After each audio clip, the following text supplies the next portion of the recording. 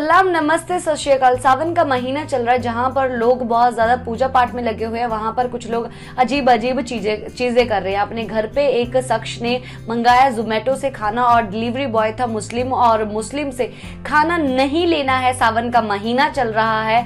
तो ये बोलते हुए उसने ये जोमेटो को बोला और उसके बाद जोमेटो ने सिखाया उसको सबक। तो चलिए जानते हैं ये पूरा मामला क्या है। मेरे साथ बने रही मैं खुशी आपका स्वागत करती है जी न्यूज़ में। सो so जैसे कि सावन का महीना चल रहा है हर जगह पर पूजा पाठ चल रहे हैं शिव की पूजा पाठ चल रहे हैं और वहाँ पर कुछ लोग ऐसे भी हैं कि ऐसे ऐसे काम किए जा रहे हैं कि आपको भी बहुत ज़्यादा गुस्सा आने वाला है। अगर, धर्म तो सब एक होते हैं क्यों ये सब चीज़ें हो रही हैं पता नहीं हमेशा ही आपको पता है हिंदू और मुस्लिम के बीच में लड़ाई झगड़े हमेशा से चलते आ रहे हैं पर ऐसा भी नहीं है आगे जनरेशन जा रही है पर फिर भी ऐसे ऐसे केसेस आ जाते हैं हमारे सामने कि हमें भी सुन के हैरान हैरानी होती है और गुस्सा आता है कि ये ये सब चीज़ें क्यों हो रही है? आप जोमेटो या किसी और ऐसी वेबसाइट से आप ऑर्डर तो करते होंगे खाना, और उससे क्या लेना देना है कि अगर आपके डिलीवरी बॉय कोई ऐसा आए या मुस्लिम हो या कोई, आप मुस्लिम हो, अगर कोई हिंदू आए, तब ऐसी सब चीज़ें हो जाएँगी क्या? तो ये सब चीज़ें तब नहीं होगी ना तो एक पंडित के घर पे, जिसका नाम है अमित शुक्ला। अमित शुक्ला ने अपने घर से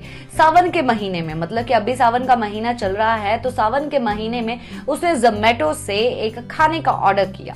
और खाने के ऑर्डर करने के बाद, जब थोड़ी देर के बाद उसको पता चला कि उसका खाना पिक कर लिया गया है, अगर आप वो एप्लीकेशन चलाते हो, तब तो आपको पता चलेगा कि जब आप खाना ऑर्डर करते हो और आपका जो डिलीवरी बॉय वहाँ से पिक करता है पिक करने के बाद उसकी फ़ोटो और उसका नाम आ जाता है। तो उसी तरीके से पंडित के पास उसका नाम आ गया डिलीवरी बॉय का और पता चला कि वो मुस्लिम है। तो उसने क्या किया जोमेटो वालों को फिर एक मैसेज डाला कि, सावन का महीना है और ये जो डिलीवरी बॉय है, मेरा खाना लेके आ रहा है तो आप इसे डिलीवरी बॉय को बदल दो। कितने आसानी से उस इंसान ने, उस शख्स ने ये चीज़ बोल दी जोमेटो को। तो जोमेटो ने क्या किया कि नहीं, हम नहीं बदल सकते हैं। तो उसके बाद उस शख्स ने फिर बोला कि आप मेरा पैसा वापस कर दो। तो जोमेटो ने फिर भी उसका पैसा वापस नहीं किया। और ये चीज़ जोमेटो ने ऐसा इस तरीके से किया और उसके बाद तो हद ही हो गई।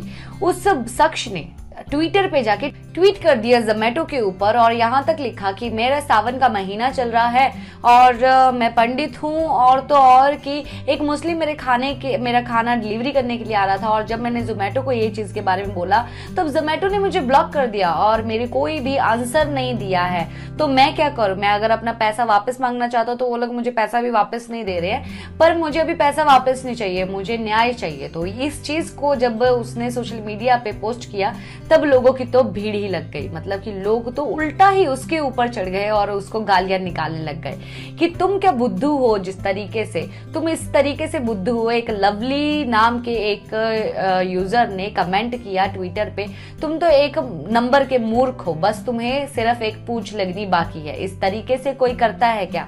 और खाने पे, और इसी के बदले जोमेटो ने भी एक ट्वीट किया कि खाने का कोई धर्म नहीं होता। चाहे वो खाना किसी को भी जाए, कोई भी डिलीवरी करे।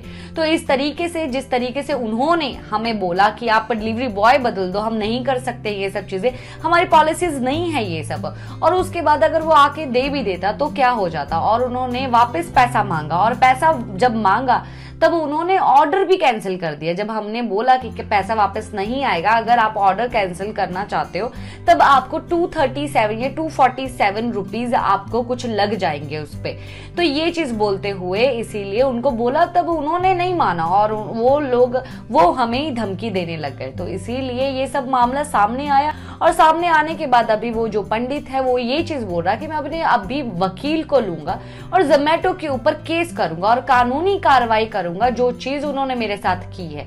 सोशल मीडिया पे इस शख्स को कड़ी कड़ी गालियाँ पड़ रही है। और जहाँ पर इसको गालियाँ पड़ रही है, वहीं पर लोग जोमेटो को काफ़ी ज़्यादा सराह रहे हैं और उनकी, उनके साथ जा रहे हैं। जिस तरीके से इसने मुस्लिम शख्स के साथ किया, मुस्लिम मुस्लिम डिलीवरी बॉय के साथ किया, ये करना सही नहीं था। आपको क्या लगता है? हमें कमेंट करके ज़रूर बताइए। क्या ये अभी भी भेदभाव अभी भी चल रहे हैं? हमारी ज़िंदगी, हमारे लोग आगे बढ़ गई हैं पर फिर भी कुछ लोग उनमें से ऐसे होते हैं जो ये भेदभाव रखते हैं। अगर आपको भी ऐसा लगता है कि भेदभाव रखना अच्छा है या नहीं अच्छा या हमें आगे बढ़ना चाहिए इन सब चीज़ों को छोड़ के, कमेंट करके ज़रूर बताइए। और इसी के साथ अगर आज की न्यूज़ जान के अच्छा लगा तो जाते जाते लाइक ठोकते हुए ज़रूर जाइए। अगर अभी तक भी आपने हमारा चैनल सब्सक्राइब नहीं किया है तो जल्दी जल्दी चैनल को सब्सक्राइब कर दीजिए और साथ के साथ बेल आइकन को भी दबा दीजिए, जिसकी वजह से आप और हम साथ में जुड़े रहे और आप तक हम नई नई न्यूज़ पहुँचा पाए। इसी के साथ मैं लेती हूँ इजाज़त। बाय टेक केयर नमस्कार। अगर ये खबर आपको पसंद आई हो तो आप वीडियो को लाइक करें, चैनल को सब्सक्राइब करना ना भूलें। Thanks for watching H news